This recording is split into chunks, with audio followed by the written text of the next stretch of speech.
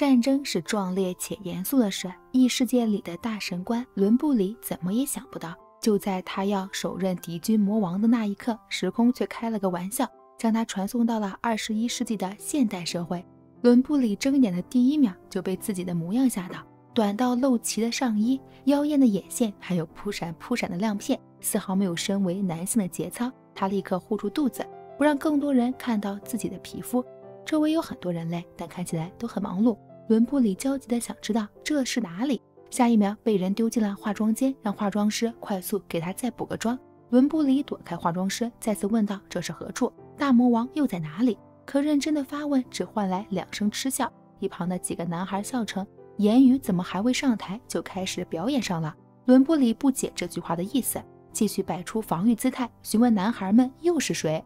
一个伙伴郑瑞耐心解答：“他们是偶像组合，今天是组合久违的回归舞台，大家都很紧张。若言语是玩失忆游戏的话，那就适可而止，因为马上就要登台。可伦布里还是十分紧张，偶像组合又是什么？”看着言语突然化身十万个为什么，另一个脾气火爆的男孩忍不住起身回怼，质问言语为何要这样？难道因为他是失败偶像的代表吗？化妆间里的气氛有些尴尬，大家都认为言语的玩笑开得有些过分。这时，经纪人闯进来，让男孩们准备好登台。这时，有人汇报言语的状态不佳，可经纪人管不了那么多了，匆匆赶鸭子上架。伦布里睁着迷茫的双眼，看着舞台上正在表演的其他组合，夸张的发色，妖娆的身姿，莫非等等自己也要上台做这样的事？伦布里的节操让他脚下生根，怎么也不愿意上台。经纪人和伙伴这才意识到，言语不是在开玩笑，或许他又再次发病了。但情况紧急，他只能被强行拉上台。几秒后，灯光和音乐开启，同伴们载歌载舞，只有伦布里像木头般站在中间，唯一做的事只有掩护住自己的肚皮。导播有些生气，这显然是一场直播事故，粉丝也在窃窃私语。经纪人带着最后一丝希望朝伦布里大喊：“让他随便扭动几下也可以。”但伦布里做不到，他索性破罐破摔，在舞台上大喊出自己不会跳舞。这句话通过耳麦传遍了整个演播间，回归演出就这样彻底被毁。经纪人感受到世界末日般的绝望，他给隔壁娱乐公司社长打去电话，想当场就跳槽。回到后台化妆间，组合成员全都垂头丧气。这场回归舞台来之不易，本想再激起一些热度，如今都被言语毁了。然而，成员们的愤怒却像打在棉花团上，对始作俑者根本起不到伤害。因为言语至今还未了解情况，对一个傻子生气只会让自己越来越气。公司社长得知舞台表演闹得一地鸡毛，只好先让孩子们回来。来到地下车库，伦布里趁人不备拔腿就跑，但很快又被成员们拎回来。不远处，一个全副武装的女孩正在悄悄观察，看着言语的状态，急得眉头紧锁。回家之后，女孩火速打开电脑，网上果然对组合满满恶评。女孩很急躁，这个时候，身为当事人的言语必须要出面解释一番。画面一转，言语确实在解释，但只是在社长面前阐述自己的身份。几小时之前，他还在异世界的领土上奋战，正要打败魔王时，不知为何来到了这里。听完了伦布里的话，社长立刻摸了摸他的额头，看看言语是否烧坏了脑子。只有卷毛小声提出异议。觉得言语是装的，因为他本来就是疯子。社长觉得有道理，毕竟在此之前，言语一直想要成为演员，说不定从刚刚到现在，他只是在演戏。听到“演戏”二字，伦布里立刻否认，他是领导异世界人民的领袖，一言一行都透露着真诚。听到这些话，社长急得像热锅上的蚂蚁，没有心情再与言语扯皮，立刻让郑瑞带他去医院挂号。来到医院，就在郑瑞挂号的空档。伦布里又开始思考如何回到原本的世界。他还没有杀死魔王，不能就这样丢下子民于不顾。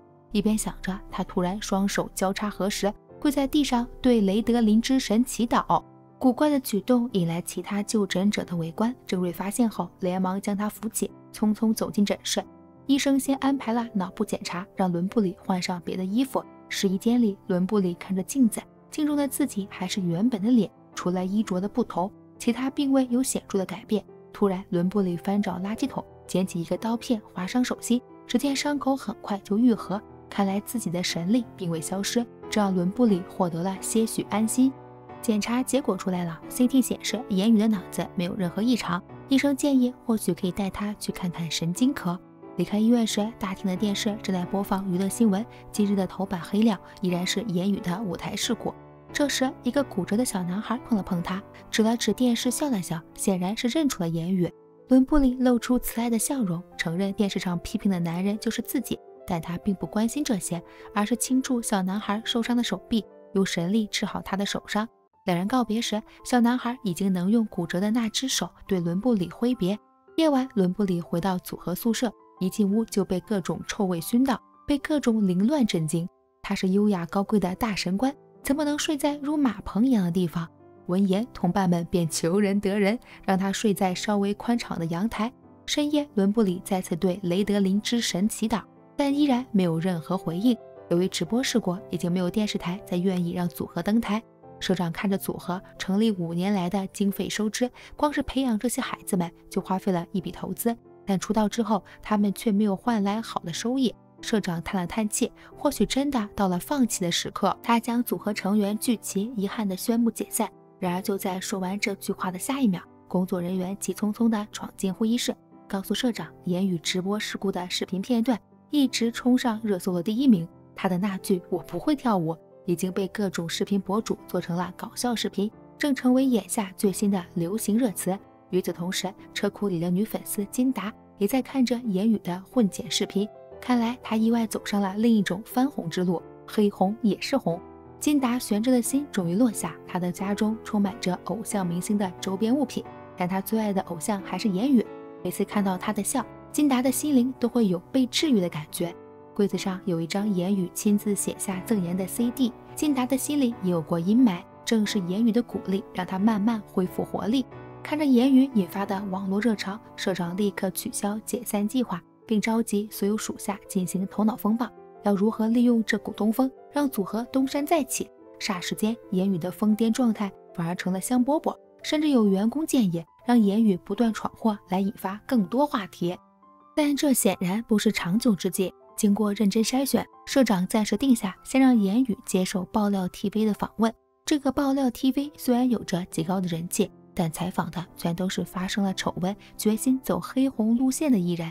某次卷毛在宿舍里进行直播，无意中提到言语要登上爆料 TV，金塔很担心，因为在粉丝眼中，爆料 TV 就是堕落的殿堂，他不能眼睁睁看着言语成为劣等艺人，于是掐着时间来到采访现场。然而采访进行到一半，窗外突然风云变幻，时间陷入停滞，就像伦布里刚穿越而来那般陷入了静止。但几秒之后，时间又恢复了正常。电视上播放紧急新闻，就在刚刚，附近的火山口发生了喷发。伦布里突然想起，之前与魔王大战时，异世界里的火山也正在翻滚咆哮，马上就要喷发。伦布里不由得想起自己的子民，他不能继续浪费时间，一定要找到回去的方法。伦布里离开了采访场地，想要回到穿越来最初的地方，但电视台有门禁，他无法进入。此时，伦布里发现站在电梯口的白衣男人有一股魔王的气息，而他身边的人也闪着红色瞳孔。伦布里为了闯入，和保安发生拉扯，还好金达出现为他解围。伦布里只好对金达求助。然而，看着面前的伦布里，金达突然摇摇头，直言他并不是言语。真正的言语到底去了哪里？这让伦布里有些意外。看来这个世界还存在理解自己的人。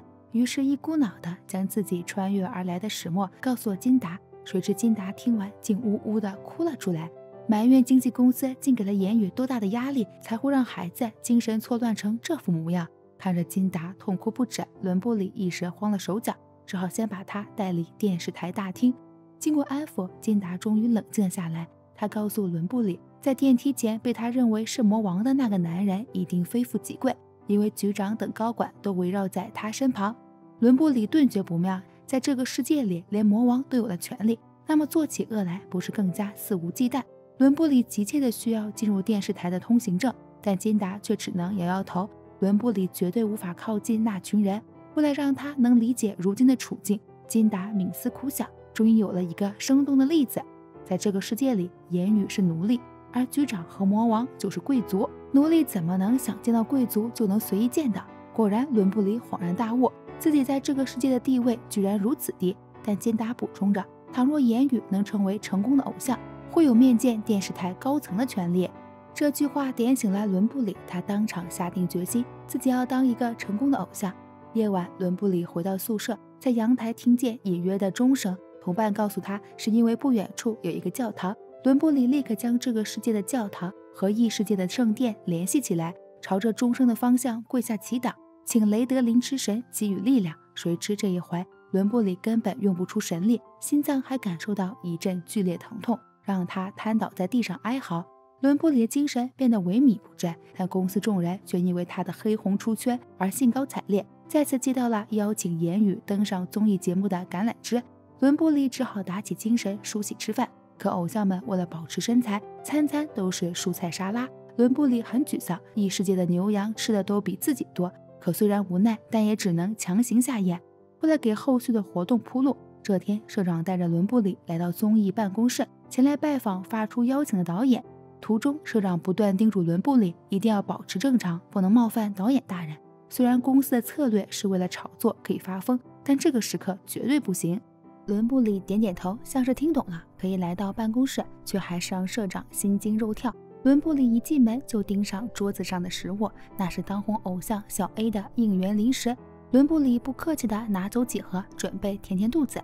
见状，导演便与他说起了小 A。伦布里摇摇头，表示自己不知道他们，但却有些羡慕。原来顶级的偶像会有平民上供，而自己的团体只能吃一些兔子吃的食物。社长察觉不妙，连忙灌了伦布里一杯水，将他请出了办公室。走出了导演办公室，伦布里找了个地方坐下，吃起小 A 组合的应援零食，往嘴里塞进一块巧克力。他立刻感觉到脑子清晰了许多，巧克力的香甜和能量让伦布里的手心发出微光。他如获至宝，立刻将所有零食全都塞进嘴里。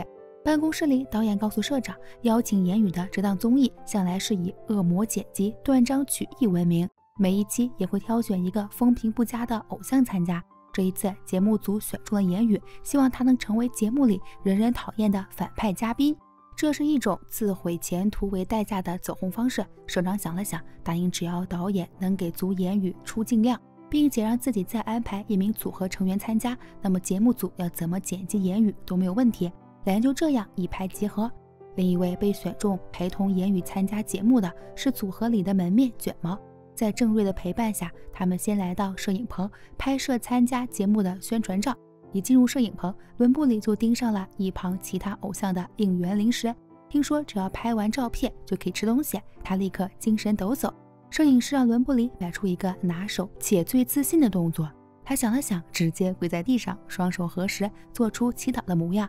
正好此时头顶上打出了一道灯光，笼罩在伦布里身上，增添一抹神圣感。摄影师惊为天人，拍下了这张跪地祈祷的照片。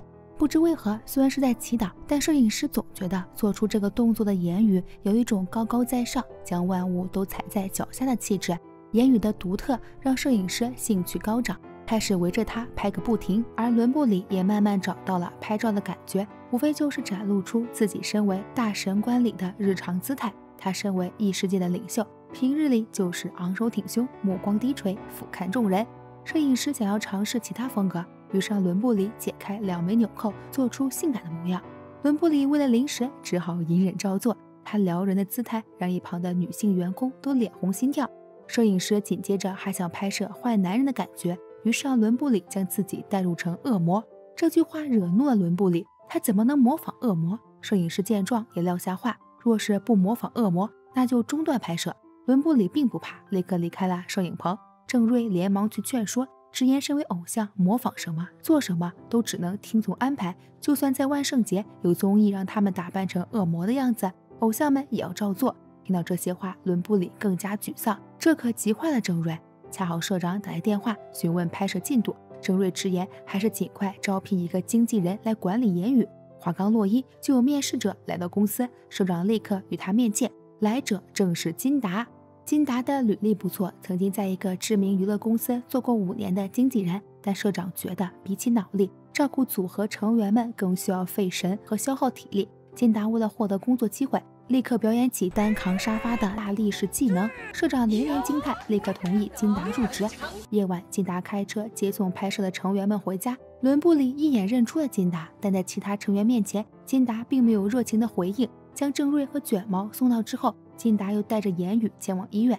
他已经委托相识的心理医生空出时间，专门为言语看诊。坐在医院走廊，金达又想起了丽丽。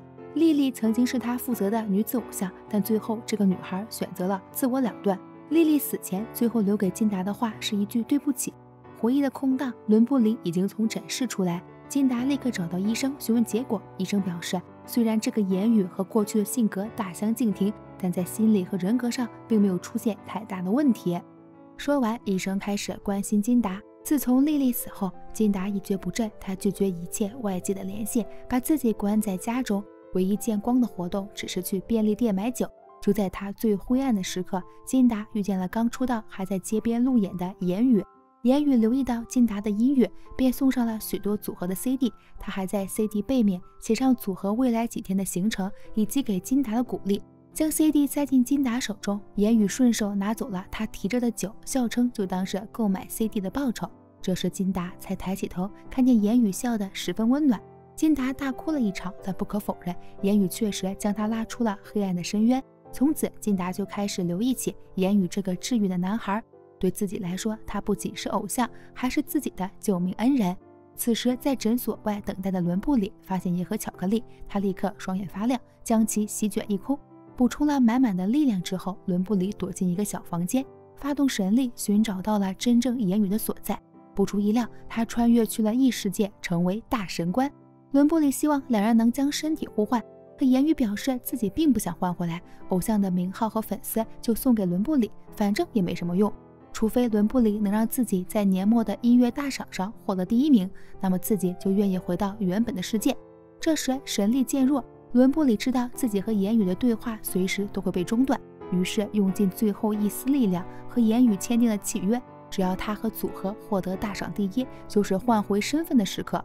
刚说完，伦布里就因为气力耗尽倒在地上。从现在起，他就是立志要成为顶级偶像的言语。不一会儿，金达和医生冲了进来，看到昏厥的言语，十分紧张，两人连番拍打他的脸，愣是将伦布里疼得醒过来。他气若游丝地说出自己好饿，急需后援会的小零食续命。金达这才舒了一口气，看来只是低血糖的症状，并不是头脑的疾病。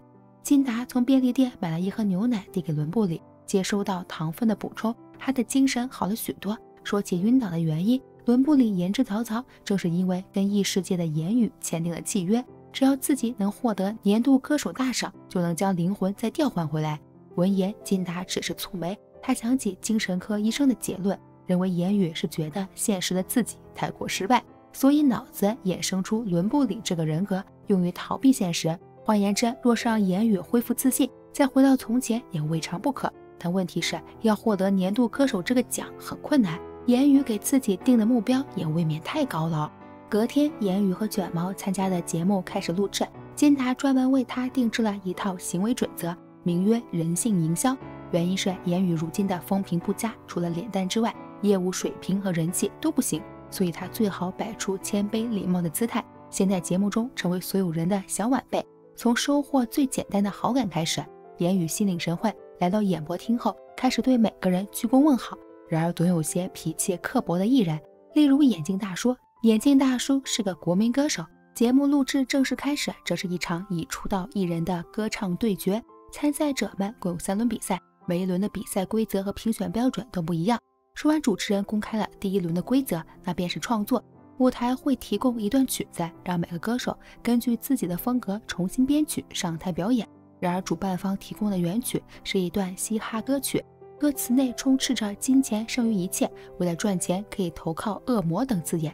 伦布里紧皱着眉头，在幕后采访里心痛地说：“这首歌会荼毒人类的心灵。”伦布里拿到歌词后的第一件事就是重新填词，完成后的歌曲充满着宗教感，通篇都是信仰和感恩。伦布里还执意要用唱诗班的方式表演出来，但金达觉得不可行。首先，在韩国最好不要在公共场合显露出明显的宗教色彩。其次，唱诗班就代表着纯人声的演唱方式，可唱歌并不是言语的强项。想法都被否决后，伦布里只好继续拿着歌词修修改改，直到金达要下班时，他还在认真工作着。伦布里告诉金达，自己又改了一遍歌词，已经去掉了很多宗教字眼。他想要用唱诗班的风格，是因为自己最擅长这个。若是金达不信，可以亲自听一听。看着言语认真的模样，金达动了恻隐之心，带着他走进录音棚。第一次录音的伦布里不知道要戴上耳机，只是对着麦克风轻哼。金达突然瞪大了眼睛，因为言语的音色居然和过去完全不同，同时气息还十分稳定。金达立刻找到编曲老师，让他来听一听言语唱歌。果然，编曲老师也对伦布里的歌声做出了肯定，他的风格由此定下，就走唱诗班的风格。夜晚，节目组正在做最后的编排会议，电视台的副会长突然将导演单独叫出。这个黑衣男人正是先前伦布里在电梯口看到的，身上弥漫恶魔气息的男人。副会长与导演对话，用语言蛊惑他坠入更深的黑暗。话音刚落，导演的瞳孔也闪过一抹恶魔红色。副会长要求导演针对言语，利用人性的丑恶去恶意剪辑和抹黑他。第二天比赛开始，导演使了第一个绊子，那就是私自调动言语的出场顺序，将他安排在眼镜大叔之后。眼镜作为实力歌手，在他之后表演十分不利，这明显是故意让言语出丑。金达很担心，伦布里觉得无所谓，压轴表演是挑战，也是机会，说不定自己能一鸣惊人。事实证明，伦布里的自信并不是空穴来风。轮到他时，浮躁的舞台立刻被一片神圣笼罩。在唱诗般的和声之下，伦布里双手合十，唱出空灵治愈的歌声，旋律像是春风拂面，夹带着伦布里的魔法，在封闭的演播厅余音绕梁，所到之处还治愈了人们的疾病，让秃顶观众的头顶再次枯木逢春。场面的工作人员感叹着，言语的演唱已经不仅是惊艳，而是像看到了奇迹。表演结束，台下响起了热烈的掌声。金达很开心，等在走廊迎接下场的言语。他走进休息室时，却看到卷毛正蹲在地上抽搐。文布里立刻施展法术救治，可将能量注入后，卷毛却不见好转。看来并不是身体上的伤病。金达立刻将他送去了医院。经过治疗，卷毛终于平静下来。金达告诉言语，这是恐慌症，是一种心理疾病。原因大概是几年前卷毛参加过一个综艺，因为表现过于夸张，被观众围攻过，成了阴影。这一次登台，或许让他又想起这段经历，才会恐慌发作。伦布里很诧异，原来这个世界也有神圣之力无法治愈的疾病。金达告诉他，能够治愈心灵的事物其实很多。偶像也算是其中之一，有很多处在低谷的人，看着偶像的照片和视频，也会变得元气满满。伦布里也想成为这样的偶像，除了治愈粉丝之外，还想要治愈金达，因为他观察到金达有时候会露出悲伤的神色，一定也是怀揣着心病。说完，金达连连否认，他不想让言语看到自己狼狈的一面。隔天，节目公开第一轮比赛的排名，备受期待的言语只得了垫底的最后一名。第一名正是眼镜大叔，对此金达一猜便知是导演的故意打压，因为在当天的观众投票里，言语的票数遥遥领先，可到了公布成绩时，评选标准却成了特别评委会打分。金达找到导演对峙，声称他打压言语是逆风而行，因为言语的演出实力有目共睹，观众和粉丝也会在网上抗议排名作弊，到时候麻烦的只有节目组。然而导演却不把金达放在眼里，一转身，他的瞳孔再次闪过红色。第二轮比赛采用的是合唱形式，参赛者们抽取合作伙伴，眼镜抽到的竟然是言语。录制结束后，眼镜大叔前来警告言语，让他不要拖自己的后腿。此时伦布里留意到眼镜大叔的嗓子有部分损伤。回到宿舍，金达向言语介绍起眼镜大叔，他是韩国著名的歌手，以宽广的音域而知名。是名副其实的主唱之神。言语之前曾跟着眼镜大叔学习唱功，但彼时的言语并没有认真的学习，而是自视过高，声称自己已经有了这张脸，无需再苦练唱功。这通傲慢的话语已经让眼镜大叔把他拉进了黑名单。金达立刻叮嘱言语，两人合作排练时一定要把姿态放低，无条件配合眼镜大叔。第二天，伦布里来到眼镜大叔的工作室，对方全程黑下脸，丢给言语和音的部分。让他配合自己，谁知伦布里只是看着曲谱就能唱得非常好。眼镜大叔很吃惊，又表演了许多自己的绝活，伦布里有样学样，全都完美的复刻下来。没多久，第二轮比赛开始，伦布里和眼镜大叔准备登台。这时，恶魔化的工作人员给眼镜大叔递了一瓶水，只是水中掺着有害物，这让上台的眼镜大叔根本发不出声音。他只能慌张地看着言语。伦布里环视四周，眼睛突然失去声音，实在太过怪异。他怀疑是魔王下的黑手，但眼下并不是寻找魔王的时机，而是要完成表演。幸好上台之前，伦布里偷偷喝掉了一大杯奶茶，体内的神圣之力正处于充盈的状态。他立刻补上眼镜演唱的部分，随后伸出手，亲昵地放在他的后颈部。在外人看来，舞台上的两个人十分暧昧，颇有炒 CP 之嫌。然而事实上，伦布里只是想要用神圣之力治愈对方被毒哑的嗓子。观众席的呼声又一次响起，眼镜终于恢复歌喉，深情地演唱着。可伦布里发现自己的手不能离开他的身体，一旦断开神圣之力，眼镜又会失去声音。伦布里只好配合着歌词，抚摸眼镜的头发，再顺其而下，紧紧与他十指紧扣。谁能想到，年下英俊偶像和前辈主唱大神麦基弗莱竟然如此上头？很快，电视台就得到了实时收视率。这两人的舞台在线观看人数已经高达了几百万人，是之前选手的几倍之多。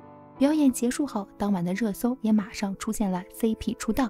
粉丝们的热情如火山喷发般炙热，让导演骑虎难下，只能给副会长打电话，直言言语现在的人气太高，恶意剪辑又局限，不如制造一些男同绯闻，找借口把言语开除。副会长没有预料到这个结果，更是哭笑不得。没想到伦布里为了在这个世界成为顶级偶像，居然公然在舞台上和其他歌手暧昧。他有些急躁，不想再做这些无谓的阻挠，不如直接下杀手。金达护送伦布里回宿舍的路上，露出了微妙的笑容。他很好奇，言语怎么突然开窍，掌握了麦府这个流量密码。但不管如何，今晚他的表现值得称赞。但伦布里却愁眉苦脸，直言眼镜是中了黑魔法。他笃定魔王就潜伏在自己周围。闻言，金达只当他是又一次臆想症发作，沉浸在自己的异世界里。回到宿舍后，社长带着全体员工欢呼庆祝。他激动地拥抱了言语。今晚言语彻底咸鱼翻身，霸占了整个网络的讨论度。已经有音乐节邀请组合去表演，还有剧组也抛来了橄榄枝，想要蹭着热度邀请言语演戏。隔天，节目组公布了第二轮比赛的排名情况，言语和眼镜的组合众望所归，拿到了第一名。听到这个结果，一旁的小新气得咬牙切齿。回到公司后，他对着经纪人大发雷霆。直言这样下去，自己就要沦为绿叶，被粉丝们彻底遗忘。这时，副会长给他打来了电话，想与小新见一面。为了准备音乐节，组合所有成员开始练习舞蹈。他们来到舞蹈室，在音乐中准备排练。然而，其他成员全都开始舞动时，只有伦布里还站在中间一动不动。舞蹈老师立刻按下暂停，询问他怎么回事。伦布里理直气壮地回答：“以为自己不会跳舞。”同伴立刻出来解释。言语因为脑子受了伤，已经把跳舞的技能完全忘记。还好舞蹈老师是个好脾气，他决定单独给言语上课，从基础开始教学。首先是一个扭动臀部的动作，可伦布里怎么做都十分僵硬，活像一只发怒的猩猩。眼看自己实在掌控不住，伦布里提出换一个舞蹈姿势，可舞蹈老师拒绝，因为这次音乐节组合表演的主题就是性感男人，所以扭臀是最重要的动作。好不容易熬到了休息时间，金达送来了便当。伦布里激动地打开一看，不是生菜沙拉和小块鱼肉，就是一盒子小番茄。他面露不悦，满脸写着想吃甜食，但金达不准。为了登台表演，每个人都要控制饮食。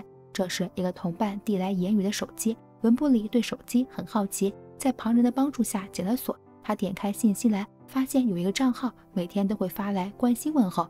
伦布里很开心，对方是如此虔诚的信徒，一定要给予一些回应鼓励。这句话让身旁的同伴若有所思。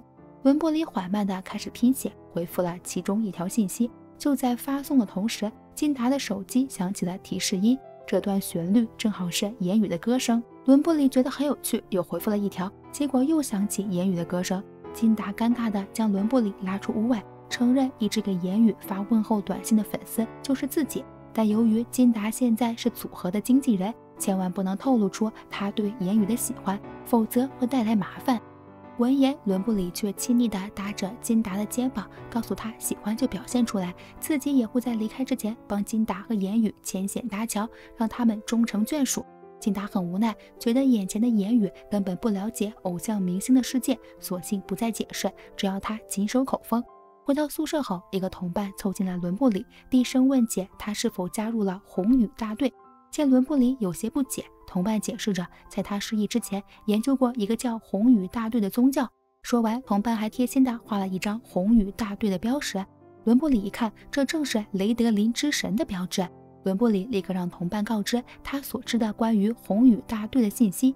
同伴表示，著名演员阿梦也是这里的教徒。同时，他还是组合即将参加的音乐节主持人。很快到了音乐节这天，化好妆的伦布里悄悄离开休息室，走进阿梦的房间里。阿梦似乎早已认识言语，但态度却并不和善。伦布里提出自己想要加入红羽大队，阿梦只是冷笑一声：“红羽大队从来只接纳行业顶级的人员加入，言语的身份还不够格。”说完，就让助理将他赶了出去。为了成为更高等级的偶像，伦布里请教了金达。金达立刻打开手机摄像头，让他练习在镜头前施展魅力。在俯拍镜头时，伦布里索性整个人蹲下，不断靠近，几乎要将金达埋进怀里。金达感受到一阵心跳，连忙推开伦布里，带着他匆匆回到后台。当晚，一个八卦小报放出一个新闻：卷毛在参加综艺演出时和一个女性正在恋爱，还有两人亲吻的照片为证。金达仔细查看了照片，发现拍摄地点是综艺演出的后台。因为后台不能让外人进入，所以拍照的一定是内部人员。金达找到发布新闻的记者，想利用过去的交情询问举报人是谁。但记者十分狡猾，他可以说出举报人，但条件是让金达回应当年丽丽想不开的内幕。可丽丽的死是金达的阴影，他不想以此做交易。谁知记者不依不饶，拉着金达不放手。关键时刻，伦布里出现帮忙。金达为了保护言语的名声，立刻蒙住记者的眼睛。三人纠缠许久，终于让记者说出举报人正是小新的经纪人。得到答案，伦布里和金达立刻找机会脱身。由于记者又说起了丽丽的事，伦布里感受到金达的难过，便抚摸她的头安抚。金达果然舒服许多，他觉得很神奇。从过去到现在，自己似乎只能被言语所治愈，不管是他还是他的第二人格。另一边，副会长正在对小新发怒，他要报复的是言语，可小新报的却是卷毛的料，令他大失所望。为了不让小新打退堂鼓，副会长又说出他的秘密：原来当年小新为了抢夺出道位，亲手将原本准备出道的同伴推下楼梯。这个把柄让小新只能对副会长言听计从。他答应在第三轮比赛期间会继续对言语施展诡计。几天后，选手们又来到了演播厅。得知第三次比赛的主题是表演，休息期间，卷毛私下找到小新，质问他为何针对自己。伦布里也循声而去，发现小新眼中闪过红色。伦布里立刻激动地询问小新是否见过魔王。看着言语对自己毫无恶意，而小新却恨他入骨，不被重视的扭曲心理在小新心中生根发芽，最终激发了他体内的恶魔因子。发狂的小新破坏了舞台器械。还袭击了工作人员，伦布里紧随其后，用神圣之力救活工作人员后，循着带血的脚印来到车库。只见小新回过头，头上已经长出了恶魔的犄角。他看到紧随而来的伦布里和金达，立刻发起了袭击。伦布里伸出手招来一道屏障，抵御了小新的进攻，紧接着又用神圣之力想要治愈小新体内的恶魔因子，可是没有持续的甜品补充，伦布里的治愈也只能中断。金达已经被吓傻，直到回过神来，他拉着伦布里的手，火速离开了车库。刚才那一幕魔幻的画面依然让他心有余悸。小新的样子很可怕，但会法术的言语也相差无几。直到这时，金达才有些明白过来，所谓的异世界和大神官居然是真实存在的。两人回到演播间，发现舞台中央有下坠物的残渣，今日的录制也被暂缓。伦布里一看便知，这就是小新要杀死自己的手段。是他悄悄去后台做了手脚，让舞台上方的照明灯落下。而他要杀死自己的原因是中了黑魔法。听到这句话，金达立刻将伦布里拉进休息室，与他又理清了一遍头绪。伦布里和言语互换了灵魂，两人约定，只要伦布里在这个世界获得了年末歌手大赏，就能和言语换回来。金达的理解无误，伦布里给予了肯定。突然，金达面色严肃，警告伦布里，若是真的要夺得歌手大赏，从现在起就不能到处嚷嚷着异世界和大神官这些词汇，因为一旦暴露他不是言语，会直接失去拿奖的资格。夜晚，伦布里和金达回到公司，一进门就遭到社长的质问。小新的经纪人找上门，声称小新在节目录制期间失踪受伤，是因为之前和言语发生过摩擦。金达很紧张，立刻否认了这个说法。这时，其他工作人员走来，让社长快看看今日的新闻。社长紧皱眉头，还以为又是言语的负面消息，谁知刚打开，就看见主持人盛赞言语热心助人，是粉丝们的治愈者。治愈者一词是网友们专程为言语索取，因为有很多都在网上发声。称自从接触过言语，困扰他们多年的疾病都会不药而愈，就连地中海大叔都长出茂密的黑发。社长欣喜若狂，治愈者是一个很好的包装噱头。他立刻告诉员工们，马上准备在医院召开粉丝见面会，就把言语打扮成拥有法术的治愈者人设。社长的决策让金达有些崩溃，万一伦布里暴露了身份，言语就真的回不来了。因此，刚回到宿舍。金达就拉着伦布里去观看言语过去的视频，让他学习身为偶像的一举一动。伦布里虽然对偶像行为狂起鸡皮疙瘩，但为了维持偶像的身份，还是努力的在学习。很快到了现学现卖的时刻，组合有一场直播见面会。为了给粉丝们留下好的观感，他们借用了社长的家，谎称是组合宿舍进行直播。直播开始，每个成员都做出招牌的卖萌动作。轮到伦布里时，他还是无法比划出如此肉麻的姿态，便私自篡改口号。他的每一次临场发挥都会让金达和成员们神经紧绷，只能用各种借口糊弄过去。直播间里的人全都对言语的治愈者能力有兴趣，甚至提出让他当场表演一番。正当金达努力出谋划策时，伦布里已经对着手机镜头深情自白，直言治愈只是一个人的信仰和使命。只要一心向善，每个人都会拥有治愈能力。这不是什么人设，而是真实的自己。伦布里虽然选择了自爆，但发自肺腑的话语颇具感染力。直到直播结束之后，网络上的舆论神奇的发生了改变，大家不再把言语神秘化，而是觉得他拥有虔诚的信仰，可以当一个牧师。这个发展是一件好事。伦布里趁此机会询问金达，那么自己是否能够参演老孟的电视剧，以此接近他加入红羽大队，见到雷德林之神。闻言，金达拒绝。虽然这场直播很成功，但距离出演电视剧还有一段距离。金达让伦布里不要着急。谁知金达一走，伦布里就对某个导演投递了简历。金达得知伦布里投递简历的剧组正是老孟所在的电视剧后，心中开始担心。害怕伦布里会被发现身份，引来不必要的危机。伦布里很感谢金达的关心，同时也对他抱歉，自己没有事先告知就投出了简历。事已至此，金达不想再追究，既然选择演戏，就要好好练习演技。可伦布里在演技老师那里的表现简直一塌糊涂，这才是眼下应该着急的问题。很快，伦布里顺利进入老孟所在的剧组。这天来到拍摄地时，在车库里，他遇到一位女社长。对方向来喜欢年轻貌美的男偶像，于是给言语留下一张名片。另一边，组合要为言语的第三轮比赛拍摄应援视频，其中身为团内舞蹈担当的小黑在跳舞时旧伤发作，一个大马趴摔在地上，不仅撞伤了鼻子，还导致录制中断。事后，他一个人坐在路边失落，伦布里来到他身边安慰。从小黑口中，伦布里得知，不管是他还是组合里其他成员。光鲜的背后都有各自的伤痛，例如小黑的妈妈就患上了疾病，一直住在医院里。小黑想要照顾她，却不能放下偶像事业。伦布里恍然大悟，原来大家都在负重前行。不过没关系，他会帮助大家获得幸福。说完，伦布里将手敷在小黑的鼻子上，为他治好了伤口。明日就是歌唱比赛的第三轮录制，可就在这个节骨眼，卷毛却失踪了。金达已经找了一整天，直到夜晚，终于在伦布里的陪伴下找到了在广场上疯狂吃垃圾食品的卷毛。卷毛先前的人气颇高，因为在一场综艺里说错话，导致人气下滑。这一回的恋爱绯闻又让他想起过去的失败经历，只能用狂吃来解压。但在金达和伦布里的安慰下，卷毛再次恢复元气。隔天，随着两人来到了比赛现场。趁着卷毛接受访问时，伦布里溜进小新的休息室，吃完他的甜品。不一会儿，小新回来，见到伦布里之后，立刻剑拔弩张。伦布里想知道魔王在这里的身份，于是故意激怒小新，与他打赌：若是在第三轮赢过他，小新就要告诉自己魔王是谁；若是输了，伦布里就当一天小新的奴隶。被激怒的小新爽快答应。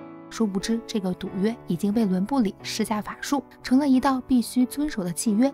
转身，伦布里马上就要登台表演。就在后台等待时，一个麻袋突然套在了他的头上，几人将他架出了电视台，摘下头套一看，行凶者居然是社长。社长看起来很着急，点开女社长的照片，询问伦布里是否有接收过他的赞助。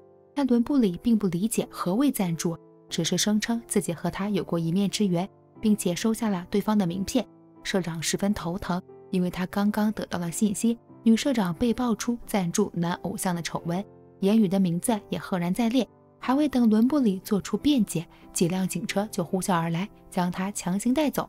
很快，言语涉及赞助丑闻被警方拘捕的画面就传遍了网络，经纪公司的电话被打爆，社长和金达只能四处奔走，想办法救出他。来到审讯室，伦布里还不能理解这场无妄之灾究竟是如何降临在自己身上。这时，一个兜帽男人悄悄潜入警局监控室，关闭了审讯室的监控。他已经请示过副会长，迫不及待地前来杀死伦布里。伦布里想要抵抗，却发现自己突然失去了神力，因此只能用肉体挡住落下的利器。两人在僵持之中，伦布里看清了兜帽男的身份，他是一个幻身，在异世界里也有这样的存在。这群人原本是人类，可为了一些想要达到的目的，将自己出卖给了魔王。伦布里试着去感化兜帽男，然而成为幻身的人都带着强烈的仇恨。兜帽男不仅没有被打动，还将伦布里刺成重伤。伦布里只能逃到走了。所幸这时金达赶到，兜帽男只能放弃追杀。金达立刻喊来警察，对伦布里进行紧急救护。途中，伦布里因为受伤已经气若游丝，但还是笑着感谢金达相信自己。他这时候选择来到警局，必然是觉得自己没有接受过赞助。看着伦布里苍白的笑容，金达的心揪成了一团。他一定要为伦布里解围。大脑在飞速旋转，突然金达灵光一闪，他知道此刻警局大门外一定等着很多媒体。他放弃了从后门离开的决定，推着受伤的言语，故意出现在媒体面前。果然，言语一出面，照相机就对他拍个不停。金达告诉媒体们，言语遭到了激进人士的袭击，有些人只是看了新闻就前来伤害言语。但事实上，言语根本没有接受赞助，公司一定会对造谣者追究到底。说完，金达刻意掉落了一张手机通信记录，有记者捡起一看，发现言语和女社长的联络仅有一条短信。经过金达的这场安排，网络上对言语的风评开始逆转，许多人开始支持他，相信他没有接受赞助。从警局匆匆逃走的兜帽男，在小巷子里被副会长截下，他质问兜帽男释放的主人是谁。为何要杀死伦布里？兜帽男不断挣扎，但还是极力为主人开解，直言一切都是自己的行动，他只是想获得伦布里的力量。副会长放开了他，只是警告兜帽男不要再插手自己的事，不要接近伦布里。兜帽男的行动失败，他回到了主人所在的地方。为了不打草惊蛇，让伦布里一行人调查到兜帽男，一个红衣女人将他杀死。与此同时，在地狱里，阎王发现阳间有一股力量。将阴间的五只妖怪守卫召唤了出来，他再次焦头烂额，不知一直扰乱阴阳两界的究竟是何人。另一边，伦布里来到医院包扎伤口，早已习惯用神圣之力治愈的他，第一次忍受麻药和缝针的痛苦。金达只好用手挡住伦布里的视线，用各种美食转移他的注意力。虽然金达努力表现的正常，但伦布里还是发现他浑身颤抖，内心不安。为了开解金达。伦布里主动说起自己的故事。其实他并非一出生就是大神官，在异世界里，伦布里原本是一个普通村民。二十多岁时，魔王袭击了村子，杀死了他的家人和朋友。伦布里也命悬一线，好在关键时刻，雷德林之神出现，将伦布里救了下来。从此之后，他便立誓成为大神官，接过雷德林之神的仁慈，拯救世人。伦布里说完后，让金达也说出心事。金达想了想，说出了莉莉的遭遇。曾经因为自己的失误，导致丽丽想不开。虽然抢救了回来，但丽丽至今还未醒来。今天将受伤的伦布里送去治疗的画面，和当年他抢救丽丽时如出一辙。往事重现，让金达的心情不能平静。隔天，伦布里回到宿舍里，社长和成员们热情欢迎。此时，有成员发现网络上的实时热搜又有言语的名字，一群人立刻点进话题查看，发现是第三轮比赛的赛前预告。预告里有毒的节目组又将言语和小新的关系渲染的暧昧不清。看来上一次言语和眼镜大叔炒 CP 带来的热烈反响，让节目组掌握了流量密码，那就是给言语配对。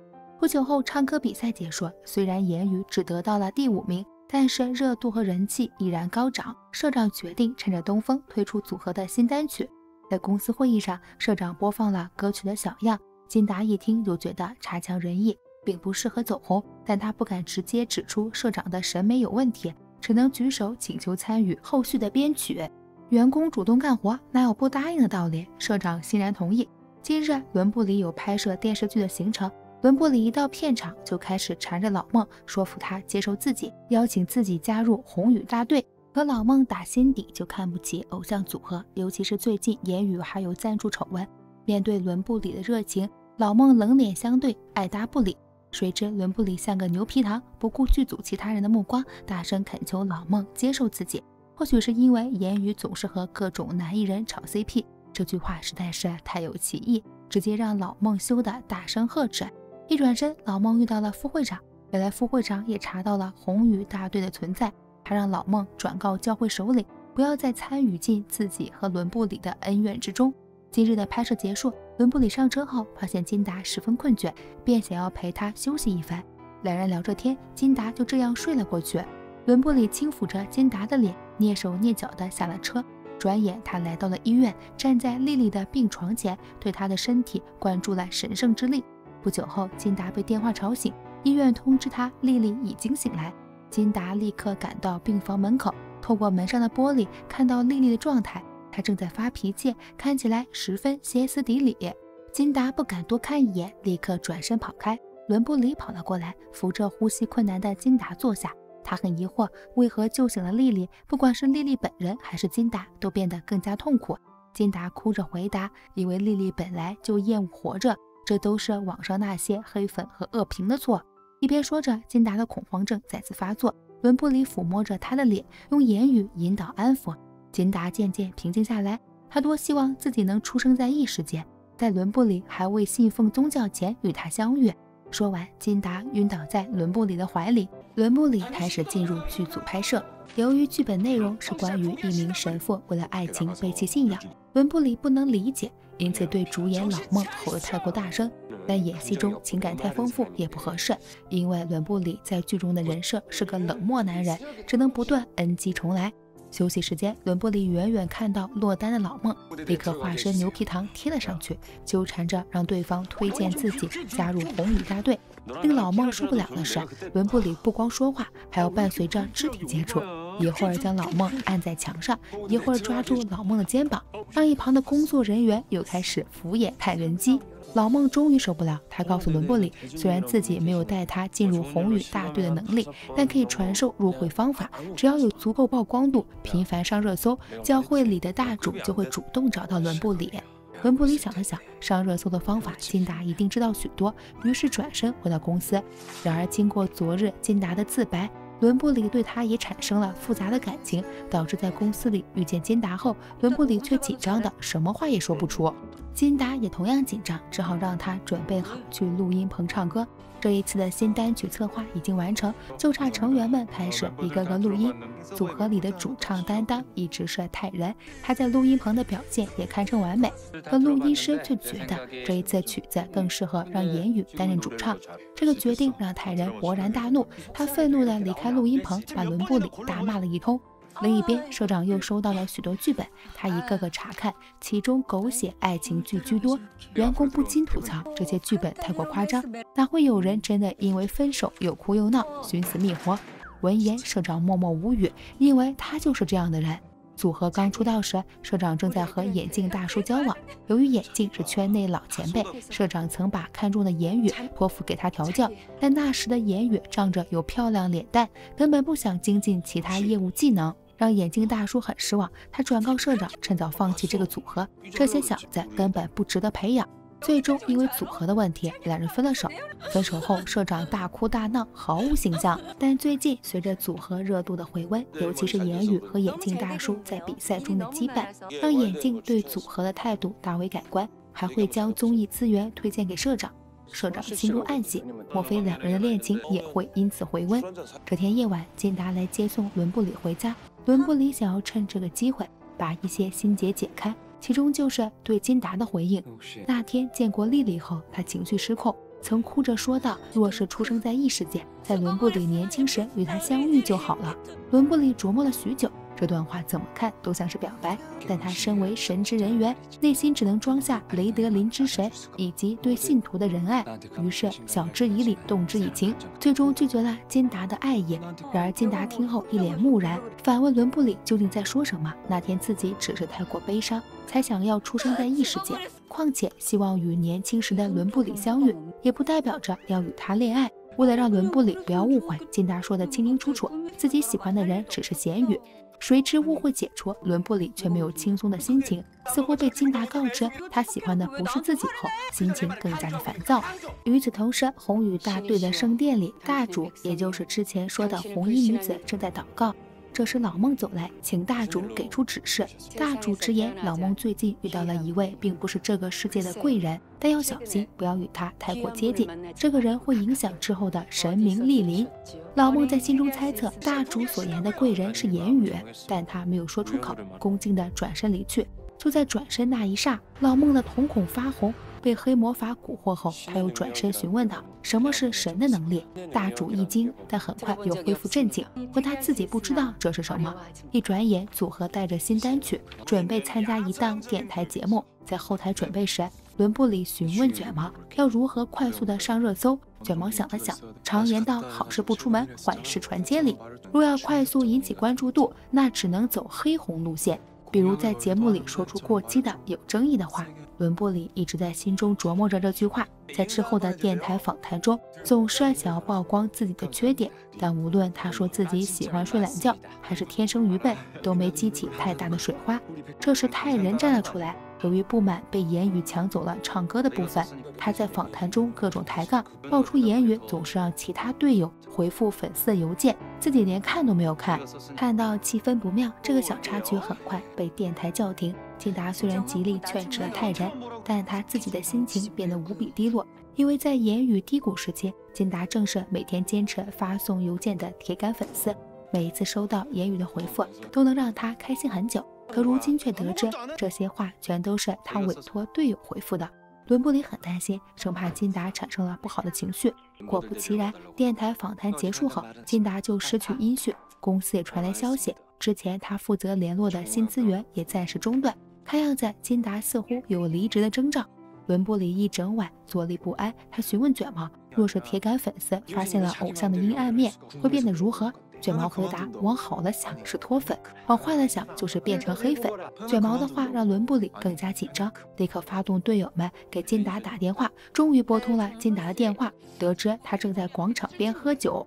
金达所在的酒馆能够看见当年组合路演的位置。就在那个地方，言语将写满寄语的 CD 塞进金达的手里，欢迎他明天、后天都来看组合的路演。正是这抹治愈的笑容，带着金达走出那段阴霾。这时，伦布里抱着一个玩偶走来，坐在金达的对面。他总是把金达看成孩子，觉得小孩子生气时有玩偶会让心情好一些。但金达接过玩偶，脸上并没有露出笑脸。伦布里又用言语的角度对邮件一事道了歉，金达这才双眼通红。但很快又醒过来，毕竟伦布里又不是言语。其实仔细想来，言语也不是犯了多大的错误，只是没有亲自回复邮件而已。可身为精神支柱的偶像，仅仅是这么做就能让粉丝伤透了心。隔天，伦布里和泰仁一起参加真人秀，泰仁的位置是伦布里争取来的，他想借这个机会与泰仁冰释前嫌。这天，嘉宾们的活动是跟着寺庙里的僧侣度过一天。刚走进寺庙，小新就充满少女的气息，朝伦布里飞奔而来，将他带到角落。糟糕的是，伦布里曾经在音乐比赛第三轮之前与他签订了奴隶契约，输的话要成为小新的一日奴隶。在契约的作用下，伦布里大喊“小新主人”，在他面前匍匐拜跪。小新很得意，就让泰人手忙脚乱，连忙把伦布里扶起。还要负责对小新和节目成员道歉。看着伦布里对自己言听计从，小新便让他把自己灌醉，随后命令伦布里开车，看到信号灯就撞上去。伦布里乖乖听从命令，眼看就要爬上驾驶座时，被泰人拉了下来。这时契约也到了结束的时间，伦布里终于舒了一口气，逃离了小新的折磨。之后两人促膝长谈，终于将怨气解开。这时伦布里发现远处的森林有灵魂漂浮，他连忙跟上去。半路却被阴间使者拦截，对方直言有人想要见一见伦布里。另一边，金达因为公事找到了副会长，结果像羊入虎口般被他所控制。副会长按住金达的头，在他脑中灌注黑魔法。金达脑海中瞬间响起让他去死的声音。金达回想起过去的经历，瞳孔逐渐变红，流下了悲伤的眼泪。伦布里被林中的灵魂吸引而去，半路遇到了阴间使者，带着他来到阴间与阎王见面。伦布里欣然前往，请求阎王帮助自己返回原本的世界。可阎王摇摇头，如今他不能伸出援手，还需要伦布里帮忙。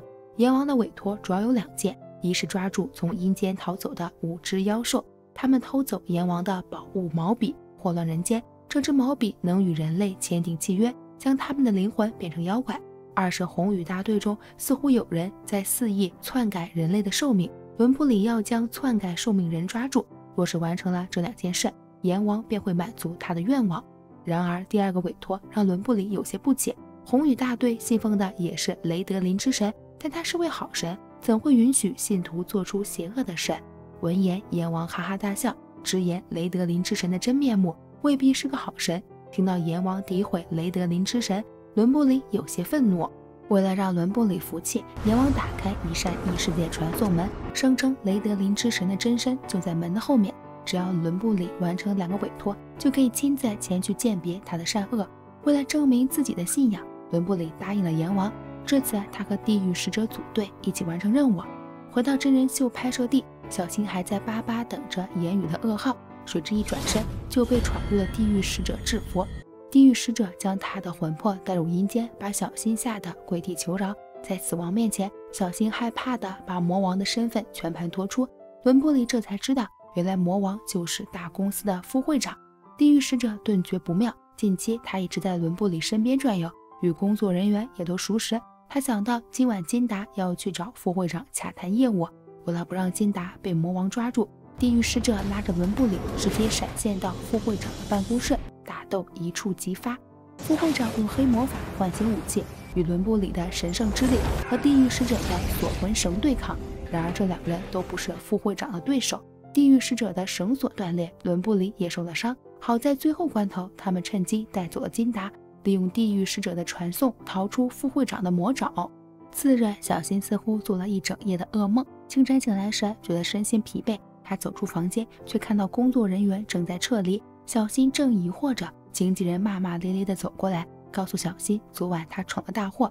原来昨夜小新在地狱使者的威胁下说出魔王的身份后，伦布里还希望他能坦诚自己的罪孽，于是让小新在半梦半醒的状态给出道前的伙伴打了电话，承认当年自己为了抢走出道位，将他推下楼梯的事实。伙伴得知真相，倍感震撼，连夜写下一篇自白发布网络，公开小新对自己犯下的错误。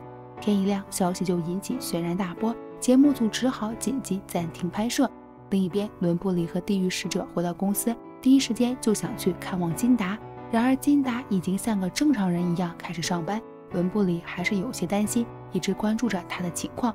果然，在走进公司的前一秒，金达的双眼通红，变得懒洋洋，什么也不想做。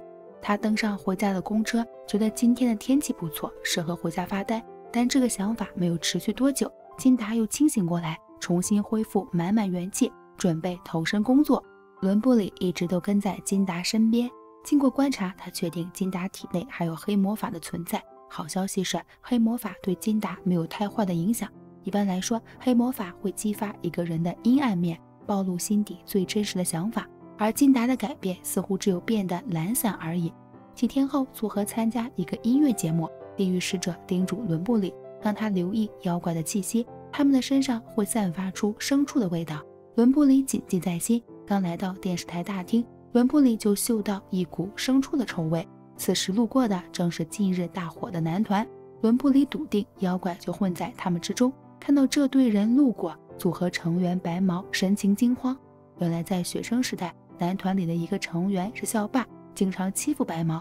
伦布里留意到白毛的心事，主动上前与他谈心。得知男团成员的劣迹后，伦布里萌生了接近对方的想法，既能调查妖怪的下落，还能找机会让校霸成员忏悔罪过，解开白毛的心结。伦布里立刻找到金达支招，金达的效率很快，立刻就打听到男团的队长要参加一个恋爱综艺，于是把伦布里也塞进嘉宾席。与此同时，红宇大队的大主接收到神明感召，立刻通知老孟也加入这档综艺。转眼到了拍摄日期，伦布里来到节目组，还带着地狱使者给他的桃木剑。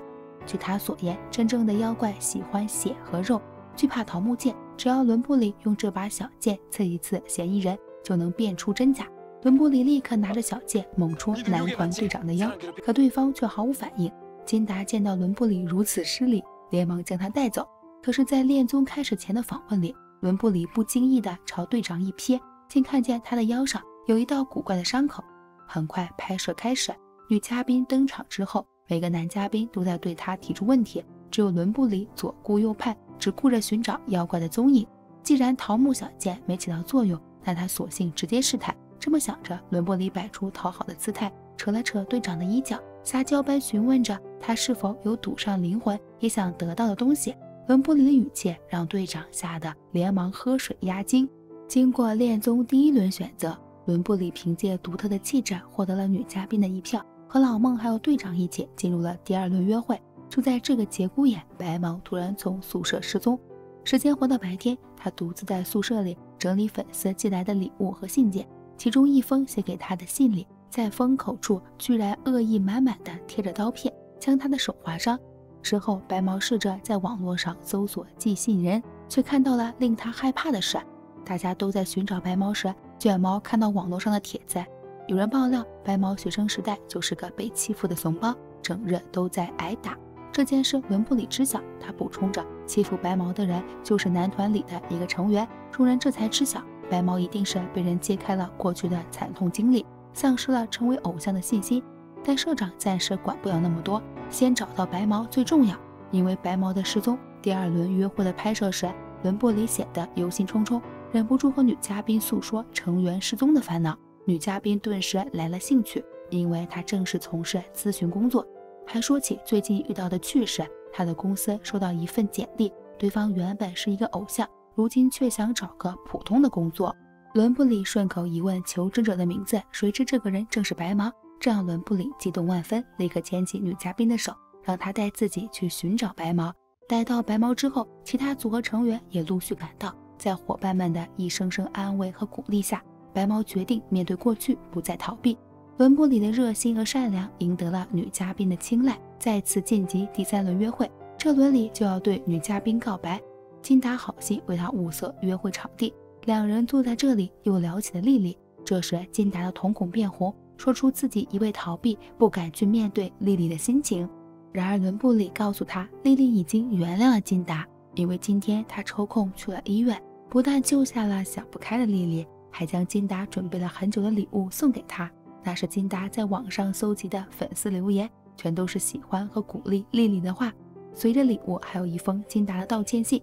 信中，金达希望丽丽能关注世界好的一面，不要再为网络恶评困扰。听到丽丽已经原谅自己，金达却哭得更加伤心，因为她还没勇气自我原谅。这时，伦布里在他额头上留下一吻。霎时间，金达感受到一股巨大的治愈之力，眼中的红色随之消失。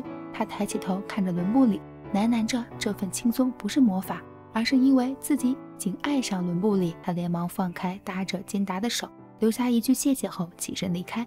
伦布里看似淡定，内心却十分紧张，一个打滚从阶梯上摔下来。隔天是恋爱节目的第三次约会，伦布里来到节目组拍摄。前两场约会中，伦布里凭借独特的气质和率真的性格赢得女嘉宾的垂青，已经晋级成为最有力的赢家。然而，就在第三次约会期间，网络上突然曝光了言语的恋情。原来，昨晚他和金达在一起的画面被有心人拍了下来。女嘉宾立刻冷哼一声，愤然离席，不愿再搭理伦布里。社长哭天喊地，这简直是关键时刻掉链子。他狠狠教训了金达和伦布里。他们昨晚为什么要在一起？又为什么会做出亲额头的举动？金达立刻解释，其实自己只是工具人，在帮助言语排练今日恋爱节目的流程。相较于金达努力的辩解，伦布里的态度显然有些摆烂了起来。他不痛不痒地说了句“不道歉”，反正是记者搞错，这让社长的怒火又浇了一桶油。他指着伦布里的鼻子质问：“如果不好好解决这件事，说不定组合专辑的发售也会泡汤。他到底知不知轻重？”见伦布里摆烂，金达只好加倍努力道歉，终于将社长哄好。他会马上召开记者会，就按金达所说的解释。昨晚两人只是在做恋综的排练，这场绯闻给伦布里的事业带来不小的风波。隔天来到剧组，所有人都对他冷眼相待。为了不让绯闻波及电视剧，导演也临时更改了剧本，大大削减伦布里的戏份，剩下的只需要替身演员完成即可。老孟见到他更是绕着走，警告言语不要靠近自己，也不要再提红雨大队，他根本就没有入会的资格。这让伦布里有些为难，因为他想靠近老孟。并非又想动手动脚，而是在他的背上发现了一个手掌印，那并不是人类的印记。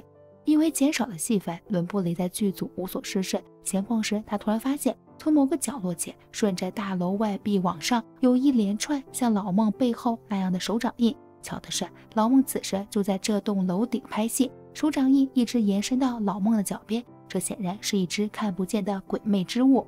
这场戏，老孟需要吊威亚，只见开拍前。威亚的钩锁默默地被打开，在老孟纵身一跃时，立刻从高楼上下坠。伦布里看到这一幕，下意识地朝老孟的落地点跑去，最终将他接入怀中，避免了一场悲剧。剧组的人全都在顶楼探头观看，感激他的搭救。经过这件事，老孟对伦布里的态度也大为改观。当伦布里说起谋害他的人是妖怪时，老孟很兴奋，原来言语也能像大主那样看到妖怪。如此说来，自己必须要带他去一趟红雨大队。或许是成功来得太过突然，伦布里突然迟疑了。他不禁想起金达对自己的挽留，开始陷入了沉默。老孟见他迟迟不答，很是奇怪。这个小子之前纠缠自己这么久，不就是想要进入红雨大队？如今机会来了，怎么还在犹豫？但最终伦布里还是没有回答，只说着让他考虑一番。由于言语的绯闻，组合的行程陷入停滞。可这天，社长却带来个好消息：一个重量级的投资人准备对组合伸出援手。他立刻招呼孩子们去见金主爸爸，伦布里也一同前往。结果到了现场，才发现金主爸爸居然是副会长。伦布里捏紧了拳头，愤怒地盯着副会长。如此无礼的举动，又急坏了社长。然而副会长却不介意，只是让伦布里跟自己私下聊一聊。若是不来，一定会后悔。伦布里犹豫片刻，跟着副会长离去。来到无人的房间，伦布里质问副会长有何阴谋。副会长声称自己只是想对伦布里索要一些东西。他救下了莉莉，又帮助金达解除了黑魔法，所以这两人的命已经被副会长盯上。说完，伦布里的手机响起，是金达的电话。今天他澄清了与伦布里的绯闻，而代价是从公司离职。电话里，金达叮嘱伦布里不要放弃梦想，努力拿到歌唱大赏。这时，副代表示意伦布里朝楼下望去。只见离开公司的金达正被大批记者围追堵截，各种羞辱。看着金达受难，伦布里转身就要去他的身边，却被副会长阻拦，直言伦布里若敢离开，自己就杀光组合成员。在副会长的威胁下，伦布里只能眼睁睁看着金达被欺负，狼狈的离开。金达离职后，网络上又放出言语在片场拯救老孟的新闻，这让他的风评立刻好转。趁着好人好事的东风，组合的专辑也好评如潮，许多节目都发来邀约，组合每天的通告都被挤得满满当当。而伦布里也迎来了第一支广告，厂商看中他和老孟的 CP，邀请二人来拍摄糖果广告。至于失业后的金达，只能整日窝在家中，因为神通广大的粉丝早已将他的信息全都人肉出来。这天夜晚，他正在家中看着恶评，突然屋外传来鬼鬼祟祟的声音。金达还以为是疯狂粉丝上门报仇，结果发现是伦布里站在门外。为了不让记者发现他，金达只好让伦布里走进家里。今晚，伦布里是特意来请金达回到公司。如今组合的势头越来越好，大众怕是已经忘掉了恋爱绯闻，他们都需要金达的帮助。况且魔王已经盯上了他，金达只有留在自己身边才是最好的做法。可金达知道自己已经回不去，为了帮助伦布里解围，他编了一套说辞，将自己的未来堵死。在金达的澄清里，她是一个恶女，不仅逼迫丽丽想不开，还故意和言语闹绯闻。身为经纪人，他深知明星要在绯闻里彻底洗白，就要有所牺牲。为了组合的未来着想，他不会回到公司。说完，金达请伦布里离开。这天夜里，副会长来到红宇大队，他警告大主，自己一千年前就已经和雷德林约定过，要亲自杀死法力强大的大神官。大主和教徒们不要插手这件事。两人对话时，一个小爱豆正悄悄躲在角落观看，将对话全都听了进去。隔天，伦布里来到广告拍摄地，想起昨晚金达的态度，他整个人都萎靡不振，无法施展出言语和老孟之间的 CP 火花。哪怕他施展自我催眠大法，将老孟的脸看成金达，遗憾的是，并没有成功。由于他不在状态，广告拍摄只能终止。这时，伦布里又看到那串妖怪的掌印正一路延伸到楼梯间。伦布里跟了上去，而脚掌印的主人正是昨晚偷听魔王和大主对话的小爱豆。小爱豆是恋综里队长所在组合的队友。他告诉伦布里，在此之前，他们还是一群湖川地心的偶像。突然有一天，一个古怪的人声称能帮助组合走红，只要签下契约。一群男孩抱着猎奇的心态答应，结果时运真的被改变，他们一跃成了最火的组合。可代价却是出卖灵魂，变成妖怪。如今组合里的人定期都要吞血食肉，这让小爱豆很害怕，恳求伦布里帮忙。看着哭泣的小爱豆，伦布里爽快地答应下来。很快，言语和老孟的卖腐广告播出，成了时下最火的话题。这让伦布里走到哪里都受到众星捧月的待遇。可风光的日子没多久，伦布里就遇到危机。原来他和老孟代言的糖果出了问题。施假的人全都失去意识，昏了过去。事实上，这一切都是魔王搞的鬼。更糟的是，老孟也召开记者会，先一步背刺伦布里，声称一切都是他的主导，故意隐瞒糖果里的有毒成分，威迫自己一起拍广告。伦布里来到医院看望受害者们，通过他们发红的瞳孔，断定是中了黑魔法。一旁的地狱使者说着：“看来魔王和红羽大队联手了。”这让伦布里的信仰遭到了冲击。他敬爱的雷德林之神怎么会与魔王同流合污？不幸的是，此时伦布里也失去了神力，无法再救治这些受害的人类。为此，他找到副会长，想用自己的生命拯救这些受害者。可魔王并不想动手，而是要让伦布里自我了断，展现诚意。第一次面临如此绝望的困境，伦布里万念俱灰，悲伤过度，昏了过去。正当伦布里想自我了断时，金达伪装成燃气工人来到组合的宿舍，他一把夺过伦布里的手机，看着他被栽赃的证据，说起来这些证据漏洞百出，有很多角度，只要去证实，就会洗清伦布里的嫌疑。金达很愤怒，发誓要用现代社会的法律让魔王栽跟头。看着金达又一次为自己出头，伦布里又想起副会长的威胁，金达要是再插手自己的事，很可能会被魔王杀死。想到这里，伦布里用强硬的方式赶走金达。他非但没有接受帮助，还指责金达多管闲事。然而金达却没有沮丧，他才不会因为伦布里的一句话就失望后退。然而一波未平，一波又起。副会长要让伦布里被丑闻纠缠的无法呼吸，利用黑魔法控制了很多人，将过去发生的丑闻全都扣在言语的头上。从参加歌唱节目里骚扰女员工，再到女社长赞助实锤，连小新也出来踩了一脚。将自己为了出道把朋友推下楼梯的黑锅甩到言语的身上，负面新闻接二连三的发生，已经多的让社长开始习惯，每天醒来都会听到言语新的丑闻。无奈之下，他萌生了把言语踢出组合的念头。可下一秒，金达就出现在公司，他鼓励社长不能放弃言语。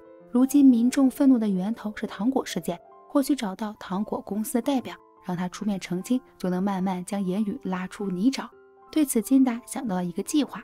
作为当事人，面对一堆麻烦事，伦布里居然还在图书馆慢悠悠地看书。他要找到在这个世界能够杀死魔王的方法。他得知人类有一种武器叫做炸药，能够顷刻间杀死数万人。或许魔王也无法抵挡炸药的威力。阴间使者一直跟在伦布里身边，帮助他一起对付魔王。他知道要杀死魔王，只能使用神圣之力。对此，伦布里只是叹息，他已经没了神力。魔王曾说过，伦布里失去力量是因为对金达有了眷恋，所以不能全心全意信奉雷德林。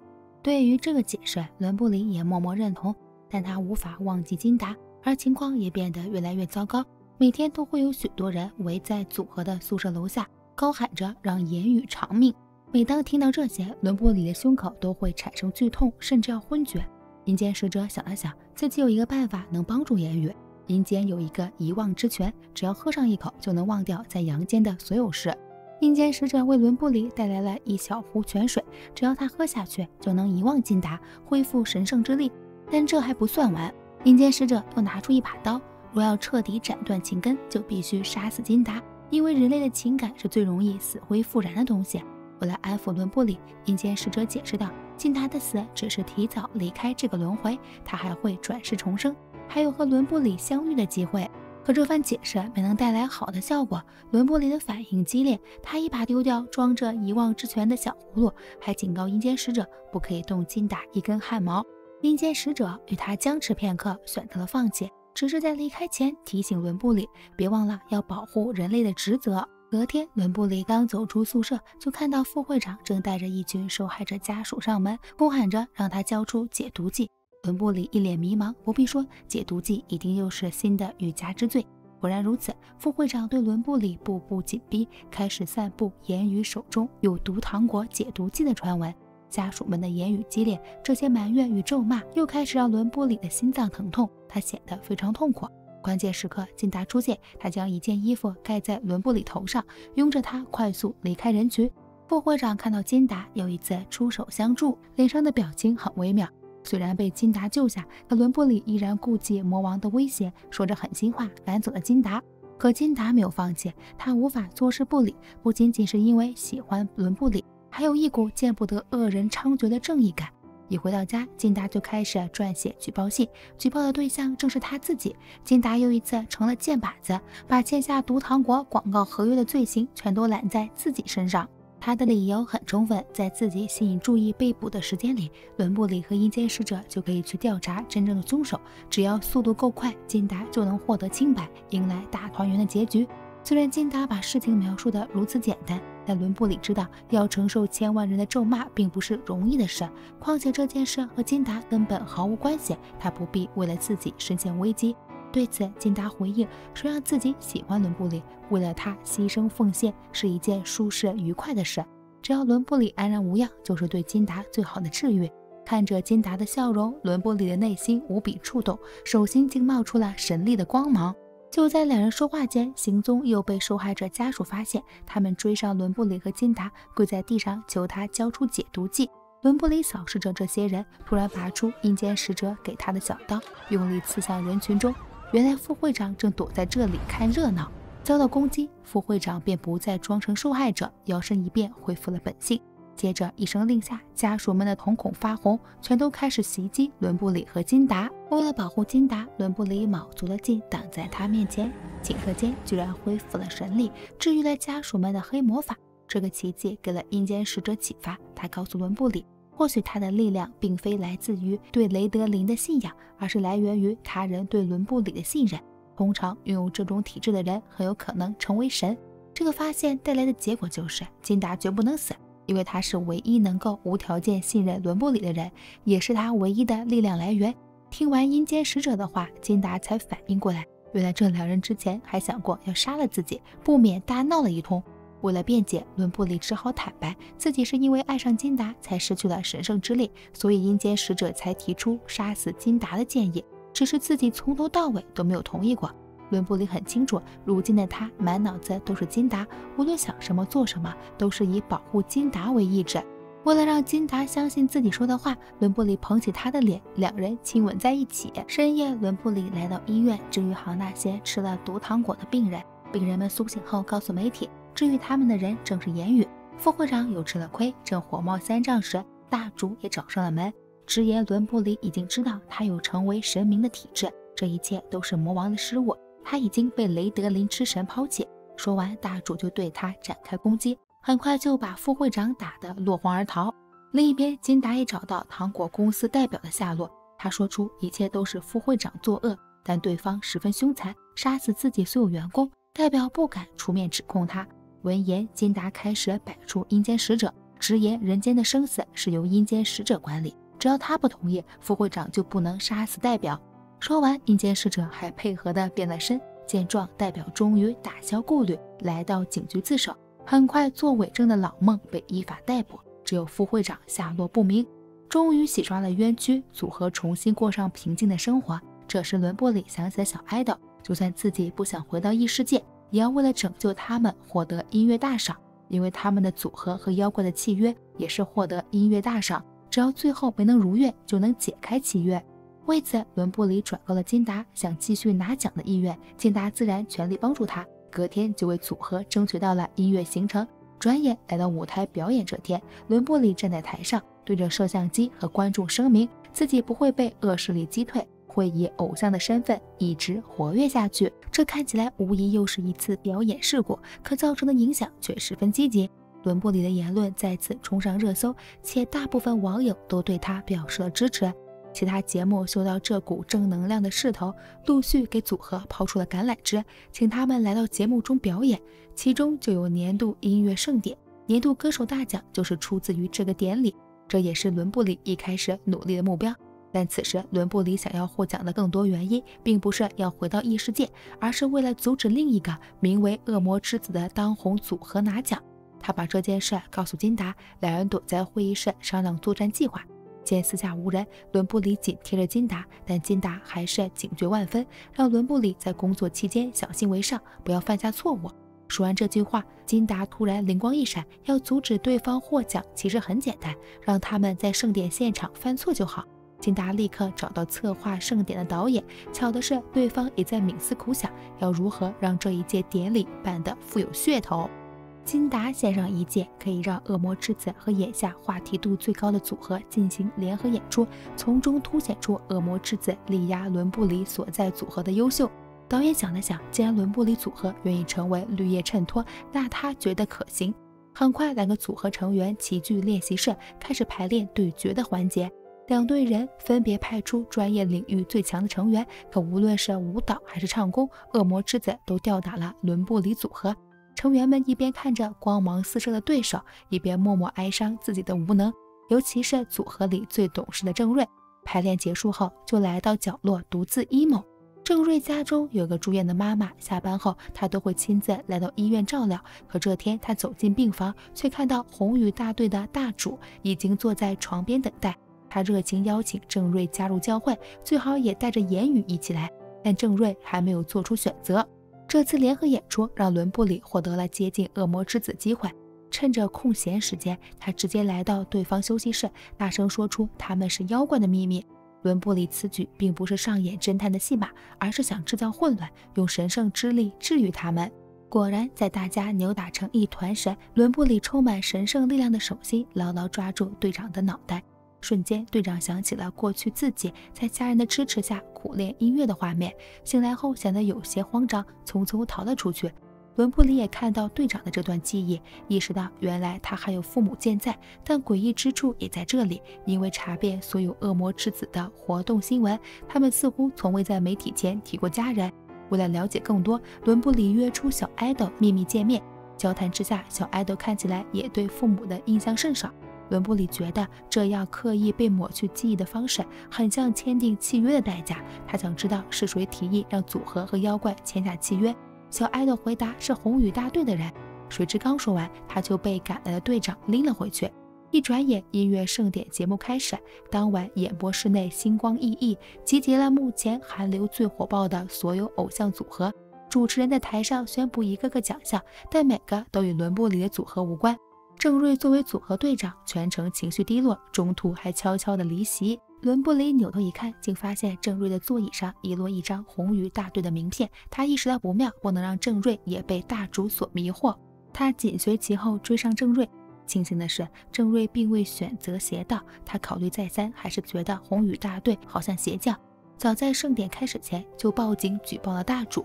因为这个举报，三个教徒追杀至此，还好有伦布里相助，带着郑瑞顺利逃离危险，躲进一间小屋子。躲藏期间，郑瑞对伦布里诉说心事，看到组合今晚颗粒无收，全程陪跑，他总觉得是自己的锅，没能起到带领队员的能力。可伦布里却告诉他，组合不温不火这么多年，至今还未解散的原因，正是因为有郑瑞这样温柔耐心又负责的队长。在伦布里的鼓励下，郑瑞鼻子一酸：“突然，舞台外传来一道声音：“组合获得了最佳发现奖项。”获奖原因是由于郑瑞锲而不舍地上传组合的练舞视频，念念不忘必有回响，是郑瑞的脚踏实地，最终让这个世界发现了组合的努力。其余奖项陆续颁发，就剩最后一个年度音乐大奖。在颁奖前，恶魔之子和组合将要上台表演。伦布里想了想，提议大家来个叠手仪式。看到每个人的手都贴在一起，伦布里开始发动神圣之力。只见恶魔之子们纷纷头疼起来，以为脑中的黑魔法暂时被冲散。不止如此，他们每个人的父母居然都被请来了现场。看着久违的家人，恶魔之子们被封印许久的情感倾泻而出，瞬间都哭成泪人，转身离开会场。就在伦布里组合登台表演时，空气中袭来一股黑烟，在场所有人都僵直不动。伦布里刚察觉到诡异，灯光便悉数熄灭。黑暗中，副会长大步走来，对着伦布里就展开了袭击。关键时刻，金达冲了出来，拉着伦布里仓皇逃跑。可伦布里觉得自己应该与副会长进行对抗，他让金达自己躲好，便转身走向副会长。两人发生了激烈的打斗，最终伦布里不敌副会长，受了剑伤。在晕倒前一刻，伦布里未出席的另一场电影颁奖礼上，他获得了今年的演技新人大奖。当伦布里醒来时，已经回到了异世界，但此刻他却被铁链捆住。最信任的女武士正想将他就地正法，造成这一切的罪魁祸首正是言语。灵魂互换后，他顶着大神官的头衔，却没有起到保护人民的作用。战争爆发前夕，还骑上马想要逃走。女武士认定这个懦弱无能的人是假冒的大神官，这才将他捆起处刑。伦布里施展法力，重新证明了身份后，返回圣殿之中。他对着雷德林之神祈祷。不一会儿，雷德林出现，但全身伤痕累累。魔王在其他的世界获得巨大力量，眼下的情况很不妙。雷德林想要收回伦布里身上的力量，只有这样，他才能与魔王对抗。只是力量一旦收回，伦布里就会死去。但伦布里对雷德林深信不疑，立刻举起尖刀对准了喉咙。可在最后一刻，得意过头的雷德林居然显出了本来面目。原来，从复活魔王到挑起战争，再到杀死伦布里，一切都是他的计划。另一边，言语说出一个震惊的秘密：他告诉金达，自己奉了雷德林的指示，已经将异世界搅得乌烟瘴气。当初两人说好，只要言语尽情胡闹，让异世界的人厌恶伦布里。雷德林就会赐予他神圣之力，可为何自己却被传回了现代？言语的话让金达意识到雷德林是最大的反派。为了将伦布里带回现代，金达恳求地狱使者带他去见阎王。眼下只有他具有穿越异世界的能力。阎王本就因为魔王和雷德林闹出的危机而烦恼，便同意金达的请求，只是要求地狱使者将他送回阳间时记得删去记忆。金达义无反顾地来到圣殿，此时伦布里已经将雷德林的雕像毁掉，一地的粉末就像他稀碎的信仰。金达来到哭泣的伦布里身边，抱着他的脑袋，轻轻安抚。伦布里返回异世界，发现雷德林之神竟然充满邪恶，觉醒的他摧毁雷德林的圣像，拒绝归还雷德林赐予的力量。见状，雷德林只好进行时空穿越，先是来到副会长身边，将他体内的力量全都拿走。随后又来到红羽大队，命令大主立刻去收割灵魂，有多少就要多少。雷德林变得如此疯狂，只因他要积攒力量，彻底打败伦布里。而伦布里来到阴间，从阎王口中听说了关于神圣之力的秘密。伦布里是雷德林分割自己的神力创造出来的代行者，只要伦布里继续把自己的神圣之力分割给别人，就能削弱雷德林的力量。等到雷德林最虚弱的时刻。阎王就会派出阴间使者将他带走。至于接收力量的人，阎王已经物色好，正是金达。因为伦布里若要打败雷德林，就要断绝情感，心无旁骛。而金达参与了这些事，迟早也会被删除记忆。他是最好的人选。这个方法让伦布里心中纠结。离开阴间之后，并未将这番话告诉金达。一转眼回到现代世界的言语正在大发脾气，他痛恨回到原本的生活。正当宿舍里乱成一团时，伦布里出现，伙伴们面面相觑，来回看着两个一模一样的言语。伦布里像父亲打孩子般，捡起一个物品就往言语身上招呼，埋怨他把异世界搞得一团糟。然而打着打着，言语居然摇身一变成了一个矮胖的中年男人。伦布里一眼认出他是异世界的小胖，随即质问是怎么回事。小胖交代自己一直很崇拜伦布里，想成为他一样耀眼的人。突然有天，雷德林出现，他答应将小胖变成伦布里的模样，只要他来到现代世界，变成一个令人讨厌的偶像。听着小胖的描述，伦布里有些明白过来，雷德林是想要自己被世人厌恶，失去被信任的力量。就像上一次糖果中毒事件，社会媒体都在抹黑伦布里时，他的力量也曾一度消失，因为无人相信他。将小胖赶走后，伦布里决定以身犯险，假装是小胖变成的言语，继续以偶像的名义活跃，迟早会吸引红羽大队找上门来。但金达很担心，生怕他会遭到不测，更害怕伦布里会突然离开。闻言，伦布里拿出一条手链戴在金达的手上，那是他的信物。也是答应金达不会离开的诺言。看着手腕上的保证，金达这才舒展了眉头。伦布里牵过金达的手，声称当自己所有信仰都崩塌时，只有金达是他最后的支撑。伦布里根本无法离开他。说完，伦布里对金达轻轻一吻。伦布里继续作为言语出现在各个采访节目之中。他等待着雷德林找上门，谁知先找来的是副会长。他被雷德林袭击后，失去了大部分力量。已然不是伦布里的对手。副会长的袭击被抵挡后，歇斯底里地质问伦布里为何不乖乖服从雷德林的心愿去死。从过去到现在，副会长都是雷德林忠诚的骑士，陪他杀死一届又一届的大神官。可到了这回，却在伦布里手里栽了跟头，还惨遭雷德林抛弃。看着副会长对雷德林的执念，伦布里只是一声叹息，他只是雷德林的工具人罢了。听完伦布里的话。副会长又回想了一遍雷德林的伪善，大脑猛地清醒过来。夜幕降临，伦布里乘坐车辆回到宿舍，途中留意到了身后紧紧跟随的车辆。他提醒地狱使者，红雨大队的人终于找上了门。地狱使者立刻将车开到一个废弃仓库。伦布里走下车，朝着信徒们走去。他完全不还手，任由对方将他打晕带走，只是在离开前将手机掉落，似乎要留给地狱使者。地狱使者拿起手机，正好接通金达的电话，便把伦布里的情况告诉了他。红羽大队中，副会长正找上门，想要见一见雷德林，但是大主并不买账，还对副会长的无能多加羞辱，直言雷德林已经厌恶他，从此魔王的角色会由自己继承。此时，红羽大队基地的一角，金达和地狱使者已经悄悄溜了进来。在躲避信徒时，地狱使者说出阎王曾提出的办法。那就是让伦布里分离神力，赋予金达，两人一同对抗雷德林。只是伦布里似乎并不想这么做。金达是第一次听到这个方法，心中无比震惊。伦布里居然为了两人的爱情，放弃了最可行的反击手段。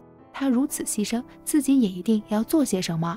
另一边，伦布里被带回圣殿，雷德林站在他的面前，指责伦布里犯下大错。他面目狰狞，根本不像过去那个慈爱温柔的神明。伦布里眼中含泪，他故意被抓来，就是想知道一切的真相。自己为何被雷德林赋予神力，又为何会被他抛弃？可雷德林高高在上，只是冷冷丢下一句：“人类怎会理解神明的想法？”随后便伸出手，开始回收伦布里的力量，眼看就要把伦布里的力量之源取走。关键时刻，地狱使者出现，他与雷德林展开搏斗，想要拖延一些时间，因为在另一个房间里，金达正在寻找阴间的神物毛笔。只要使用毛笔写下契约，无论什么都能够实现。金达撬开了一个被上锁的箱子，果然得到神物。他决定在卷轴上写下心愿，希望将雷德林在阳间与人类的契约全部作废。一旦失去信徒的信任，雷德林就会失去力量。很快，心愿显灵，雷德林的力量被封锁在了手心，怎样都无法释放。趁他虚弱之时，伦布里的力量之源也回到了体内。这时，副会长走了进来。受到大主挑衅的他，彻底对雷德林失望，一把摘下信奉他的戒指，释放更多黑暗之力。